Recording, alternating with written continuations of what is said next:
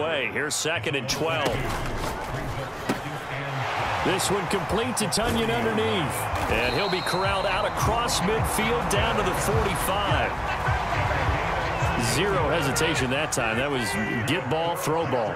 Yeah, turn into a smoke route. If you see the coverage off the receiver, doesn't matter whether you call it a run or not. Just take the ball, get it out to him. And he's got some space here. Oh! Touchdown,